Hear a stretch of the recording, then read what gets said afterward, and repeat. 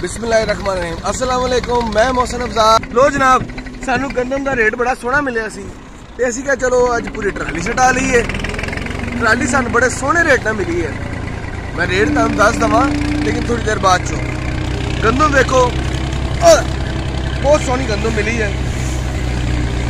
ਬਿਹਤਰੀਨ ਗੰਦਮ। ਅੱਛਾ, ਗੱਲ ਹੈ ਵੇ ਕਿ ਅਸਾਂ ਆਪਣੀ ਦਵੈਨ ਨਾਲ ਆਏ ਆ ਆਪਣੀ ਮਜਾਲ ਕਿ ਉਹਨਾਂ ਨੂੰ ਆਪ ਆਪਣੀ ਹੱਥੀ ਪਾਵਾਂਗੇ, ਸਿੱਧੀ ਸਿੱਧੀ।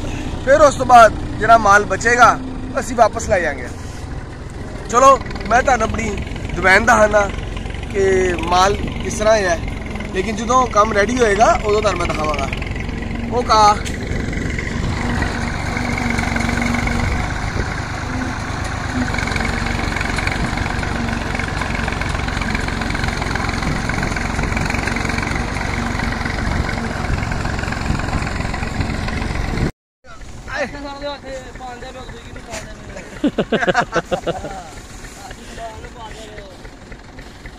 ਇਹ ਦਵੈਨ ਨੂੰ ਅਸੀਂ ਮਾਲ ਪਾਇਆ ਹੈ ਸਾਰਾ।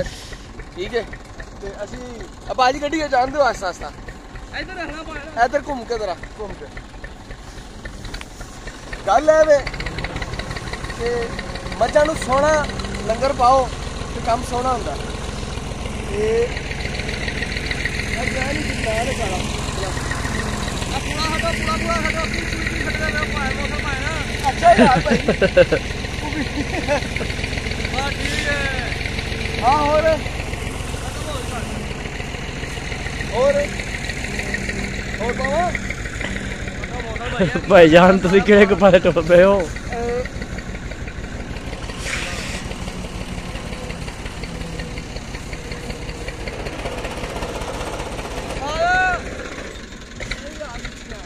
ਵੇਖੀ, ਅੱਗੇ ਵੇਖੀ, ਜਰਾ ਅੱਗੇ ਵੇਖੀ। ਲੋ ਜੀ ਭਰਾ ਜੀ। ਗੱਲ ਹੈ ਵੇ ਅੱਗੇ ਆਣੀ ਗਰਮੀ। ਓਏ ਹੋਏ ਹੋਏ ਕੀ ਕੰਮ ਪੈਣਾ ਹੀ ਅੱਗੇ। ਤੇ ਆਹ, ਟਰਾਲੀ ਦੇ ਲਈ ਹੋਣੀ ਹੈ। ਤੇ ਹਾਲਤਾਂ ਖਰਾਬ ਹੋਣੀਆਂ ਨੇ। ਤੇ ਪਤਾ ਚੱਲ ਜਾਣਾ ਕੀ ਹਿਸਾਬ ਭਾਅ ਵਿਕਦੀ ਹੈ। ਦੁਬਈ ਦੀ ਨੌਕਰੀ ਐ ਸੀ ਨਾ। ਦੁਬਈ ਹੁੰਦਾ ਸੀ 12 ਘੰਟੇ ਡਿਊਟੀ ਕੀਤੀ ਤੇ ਆਰਾਮ ਕੀਤਾ।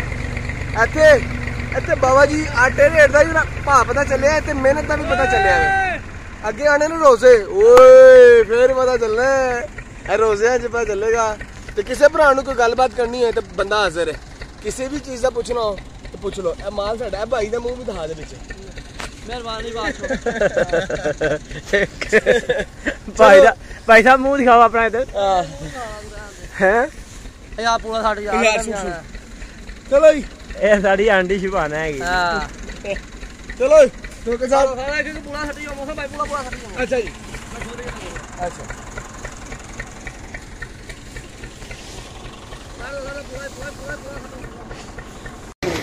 ਕੀ ਕਰੂਏ ਰੋਟੀ ਵੀ ਲਾਈ ਹੈ ਤੇ ਫਿਰ ਮੂਛਲ ਚੱਕ ਕਰ ਸਾਰੇ ਬਣਾ ਤੂੰ ਮੇਰਾ ਮੋਬਾਈਲ ਖੋਲ ਲਿਆ ਤੂੰ ਤੈਨੂੰ ਪਾਸਵਰਡ ਕਿੰਨੇ ਦੱਸਿਆ ਆਬ ਲੈਚੀ ਲਿਖਦੇ ਮਲੰਗ ਦਾ ਬਹੁਤ ਪੁੱਤਰ ਮਲੰਗ ਦਾ ਪੁੱਤਰ ਬਲੋਚੀ ਜ਼ਿੰਦਾਬਾਦ